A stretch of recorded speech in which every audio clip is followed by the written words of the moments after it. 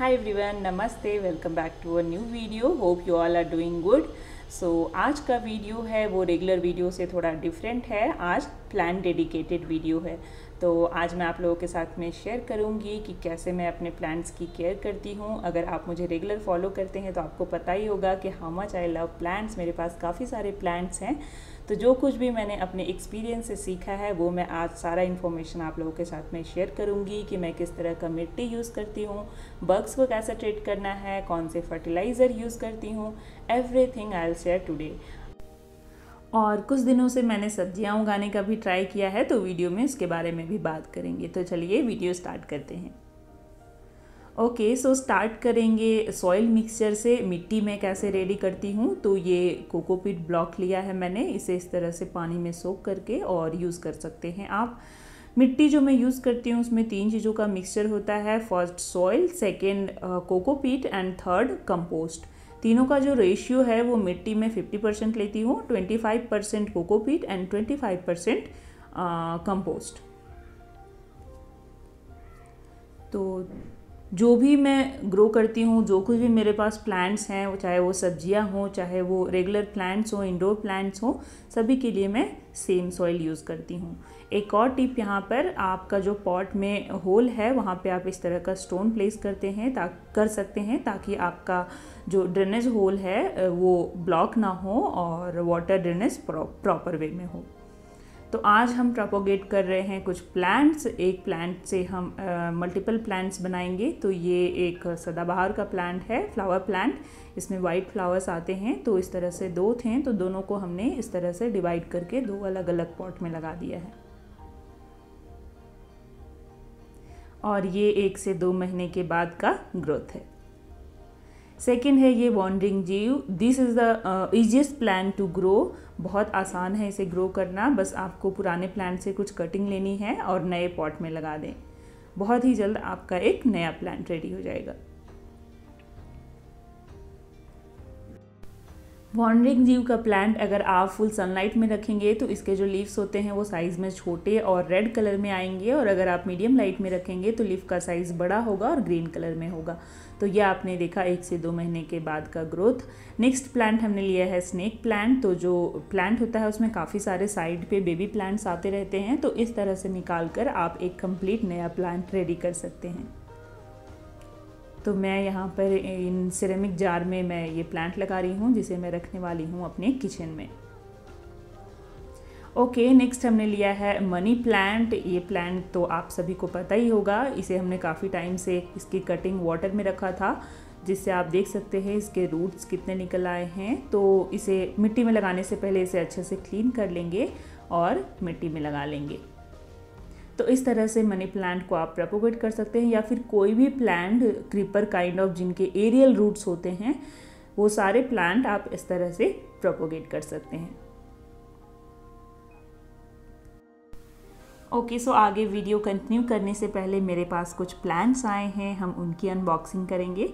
तो ये प्लांट्स मुझे आए हैं उगाव से। Ugaoo is one stop shop for all your gardening needs Ugaoo online shop है, जहाँ से आप गार्डनिंग रिलेटेड प्रोडक्ट परचेज कर सकते हैं। आपको उगाव पे हर तरह के प्लांट मिल जाते हैं तो उनके प्लांट कुछ इस तरह से पैक होकर आते हैं, जिसमें बॉक्स में सारे इंस्ट्रक्शन दिए रहते हैं कि आपको किस तरह से प्लांट को सेफली निकालना है। तो वन बाय वन हम प्लांट को ओपन करेंगे और देखेंगे कौन कौन से प्लांट हैं। सो फ़र्स्ट जो प्लांट है, वो है दिस पिंक सिंगोनियम तो हमने कंप्लीट इसको अनपैक कर लिया है और आप देख सकते हैं प्लांट कितने अच्छे कंडीशन में आया है। सो वन बाय वन हम बाकी के प्लांट्स भी देख लेते हैं। तो नेक्स्ट इज़ वॉन्डरिंग जीव और थर्ड जो है, ये है philodendron fourth one is aralia and ये है हमारा last plant this is fittonia ये मेरा फेवरेट है। मुझे इसका जो लीफ का कलर एंड जो उसका टेक्सचर है, वो बहुत ही पसंद आया। तो इनके जो पॉट हैं वो भी बहुत यूनिक हैं। These are the self watering pot in planters को इस तरह से डिज़ाइन किया गया है कि ये आपको, आपके प्लांट्स को perfect amount of hydration provide करते हैं with its self watering mechanism and साथ ही हर प्लांट के साथ में इस तरह का एक कार्ड रिसीव होता है केयर गाइड जिसमें प्लांट रिलेटेड जो भी जानकारी है कि आपके प्लांट की केयर कैसे करनी है, वो सारी चीज़ें मेंशन होती है with name and photo I really like this concept okay so अगर आप सोच रहे हैं कि what about the big plants वो कैसे आते हैं तो वो इस तरह से पैक होकर आते हैं। ऊपर बॉक्स में ही मेंशन होता है कि अंदर प्लांट है तो इसे सेफली कैरी करना है। तो ये मुझे रिसीव हुआ है monstera and this is my first monstera I am really excited about this तो इसे ओपन करते हैं।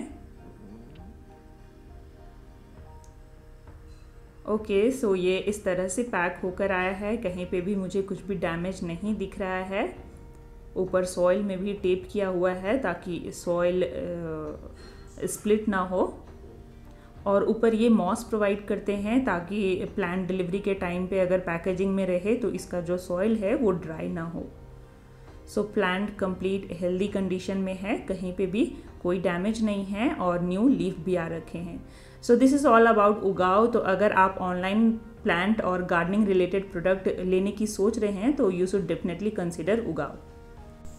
और अगर आप उगाओ से शॉपिंग कर रहे हैं तो आप मेरा कोड यूज़ कर सकते हैं Chandni C H A N D N I to get fifteen percent off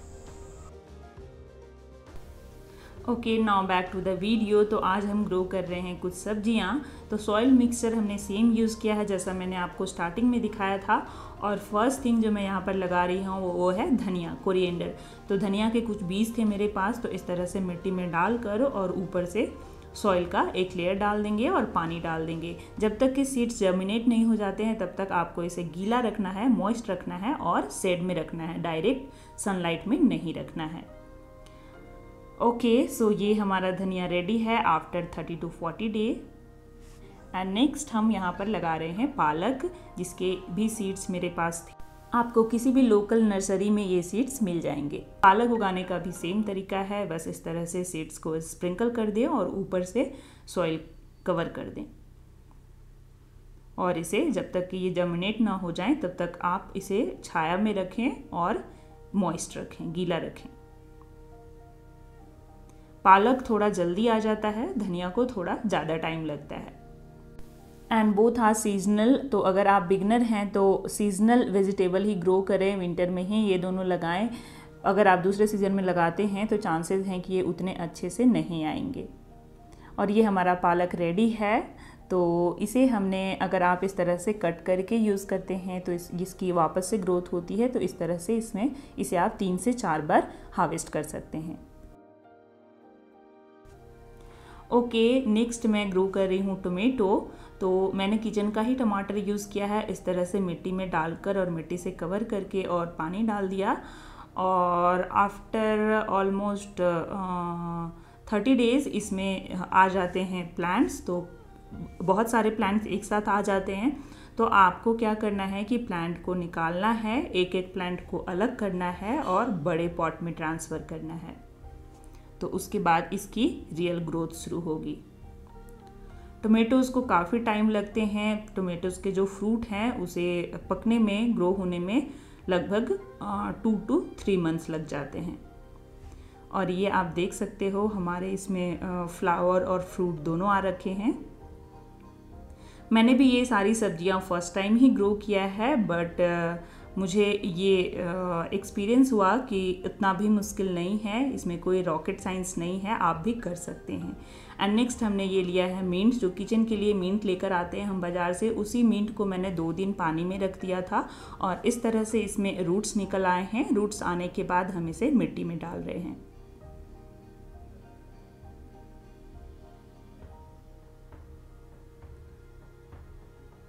बस इस तरह से मिट्टी में डालकर और पानी डालते रहेंगे और धूप में रखेंगे।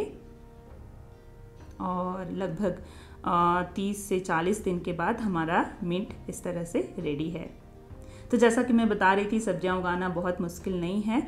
बस आपको बेसिक गार्डनिंग नॉलेज होना चाहिए। और दूसरी चीज़ कि जहाँ पे भी आप सब्ज़ी उगा रहे हैं या फिर फ्लावर उगा रहे हैं तो वहाँ पे minimum four to five hours sunlight आनी चाहिए।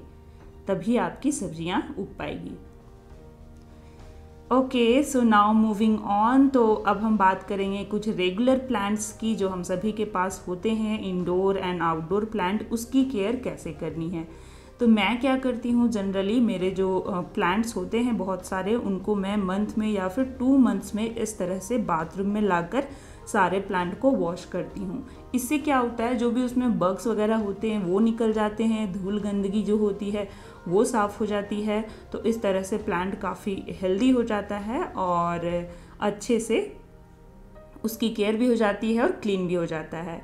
ओके सो कुछ प्लांट्स में बग्स हैं तो उसको ट्रीट करने के लिए मैं यूज़ करती हूँ नीम ऑयल जो मैंने अमेज़ोन से परचेज़ किया है।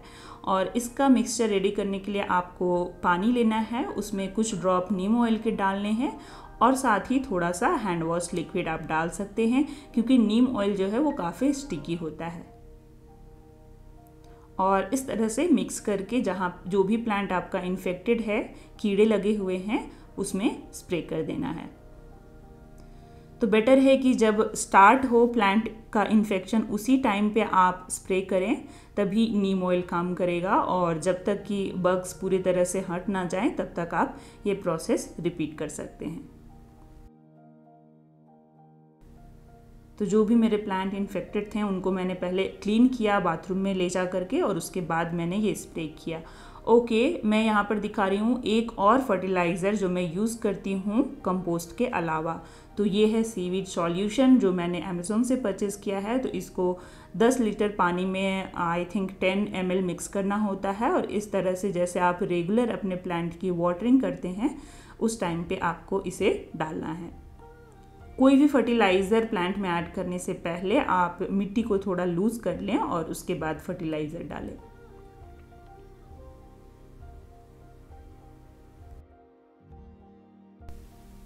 मैं बहुत ज़्यादा फर्टिलाइज़र यूज़ नहीं करती हूँ। कभी कभार दो महीने में एक बार या फिर तीन महीने में एक बार डाल दिया। और सिर्फ़ ये दो फर्टिलाइज़र ही मैंने यूज़ किया है compost and seaweed solution and ये दोनों ही ऑर्गेनिक फर्टिलाइज़र हैं। इवन जो भी इंसेक्टिसाइड एंड फर्टिलाइज़र हम यूज़ कर रहे हैं, सभी ऑर्गेनिक हैं। ऐसे प्लांट स्पेसिफिक कुछ भी यूज़ नहीं करती हूँ। सारे जो प्लांट हैं, उनमें सेम फर्टिलाइज़र ही डाल देती हूँ। तो अब हम बात करेंगे जो मेरे वाटर वाले प्लांट हैं, उनकी केयर कैसे करनी है। तो ये कुछ प्लांट हैं जो मैं पानी में रखती हूँ तो इसे मंथ में एटलीस्ट एक बार अच्छे से क्लीन करना होता है और इसका पानी चेंज करना होता है। प्लांट को निकाल कर अच्छे से वॉश कर लें, जो कंटेनर है उसे भी अच्छे से वॉश करना है और उसके बाद उसमें फ्रेश वाटर डालकर वापस से प्लांट डालना है। ऐसा आपको महीने में एटलीस्ट एक बार तो करना ही चाहिए, अगर आपका प्लांट को आपको हेल्दी रखना है तो।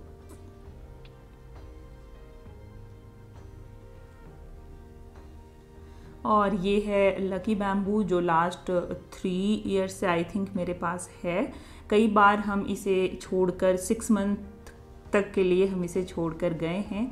हमारे होम टाउन उस टाइम पे भी ये सरवाइव कर गया। बहुत सारे इसके जो लीव्स थे वो येलो पड़ गए तो वो मैंने हटा दिया है, इसलिए ये काफ़ी कम हो गया है। बट स्टिल ये सरवाइव कर गया। तो इसे भी मैं इस तरह से क्लीन कर लेती हूँ। जो भी मैंने इसमें पेबल्स यूज़ किए हैं, उसे अच्छे से लिक्विड सोप डालकर क्लीन करती हूँ। जो कंटेनर है, उसे भी अच्छे से क्लीन करती हूँ। और उसमें वापस फ्रेश वाटर डालकर और प्लांट को अच्छे से क्लीन करके वापस रखती हूँ। तो इस तरह से आप अपने वाटर वाले प्लांट का केयर कर सकते हैं और जो मैं इसमें पानी यूज़ करती हूँ, वो मैं आरओ वाटर ही यूज़ करती हूँ। क्योंकि जो टैप वाटर है उससे कंटेनर में वो वाइट वाइट दाग पड़ जाते हैं तो इसलिए मैं आरओ वाटर यूज़ करती हूँ। तो अगर आप महीने में एक बार भी करते हैं तो भी आपका प्लांट अच्छे से रह जाता है। ओके वन मोर थिंग बहुत सारे लोग पूछते हैं कि ये प्लांट अंदर सर्वाइव करेगा क्या? तो प्लांट इंडोर आउटडोर सारे प्लांट आउटडोर ही होते हैं. इंडोर कोई प्लांट नहीं होता. मीन सभी प्लांट को सनलाइट चाहिए ही. बट कुछ प्लांट जो है, वो मीडियम लाइट में भी सर्वाइव कर लेते हैं. अगर आप बिल्कुल डार्क प्लेस में किसी प्लांट को रख देंगे जहाँ बिल्कुल भी लाइट नहीं आता हो तो वहाँ आपका प्लांट सर्वाइव नहीं कर पाएगा. तो अगर डायरेक्ट लाइट नहीं बट लाइट भी आ रही हो तो भी आपका प्लांट रह जाता है. तो ये था मेरा प्लांट रिलेटेड ज्ञान। आई होप आपको पसंद आया हो हेल्पफुल रहा हो इन्फॉर्मेटिव रहा हो कमेंट करके ज़रूर बताइएगा।